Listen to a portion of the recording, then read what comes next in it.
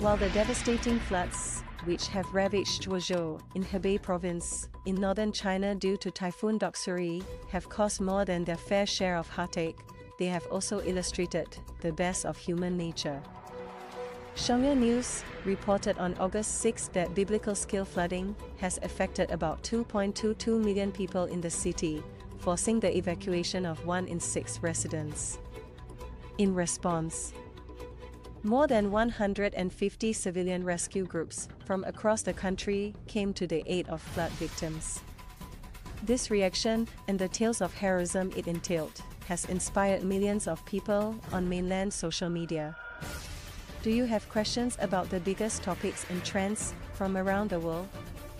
Get the answers with SCMP Knowledge, our new platform of curated content with explainers, FAQs, analyses, and infographics brought to you by our award winning team. Rescue workers who prioritize women and children touched many online. Video footage showed a male rescue worker in a life jacket holding a 40-day-old infant. While next to him was the baby's mother, carrying two big bags. Those with children first, a voice repeatedly called out. As soon as the rescue worker and the mother and child reached safety, a couple gave up their seats for them. This melted the hearts of many people, with one saying, It is so touching. Thanks for protecting our people, while another commented, I wish everyone to be safe. Another trending story is that of a young man who delayed the rescue workers for 2 to 3 minutes by returning home to save his dog. Following his own rescue, it dawned on the man that he had left his dog behind at home. He immediately ran back to save his dog, in a 3 minute act of love that has impressed countless people online. While many empathize with the man's display of love for his dog, some online observers felt that the man should not have wasted the time of rescue workers, which could have been spent on saving humans.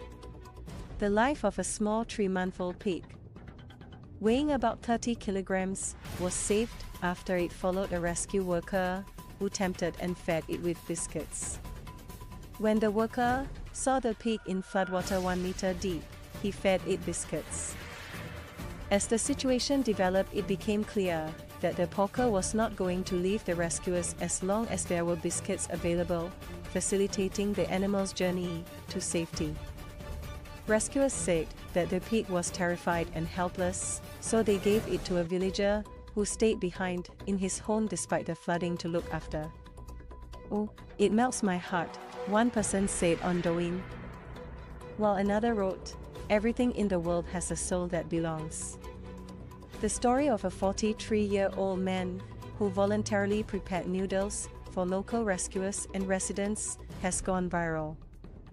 The man, surnamed Xiao, from the Shening rescue team of Hunan province in central China, arrived in Zhuozhou on August 2 to help with flood relief efforts.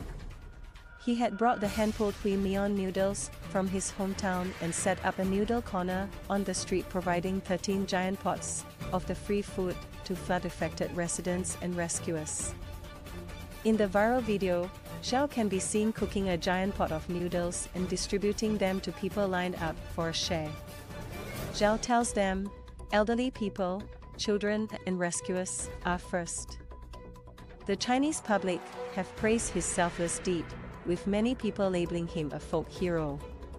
Images of Zhuozhou citizens lining up on the street to say goodbye to the rescue teams from the neighboring Hunan province provided a perfect bookend to the countless feel-good stories resulting from the floods.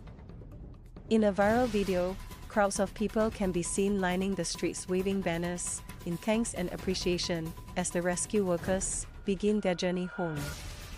You are all amazing. I will have to visit Hunan, an unidentified woman says in the video. Mainland social media has been captivated by the moment. One online observer said, thumbs up to Hunan, while another said, I want to visit Hunan too.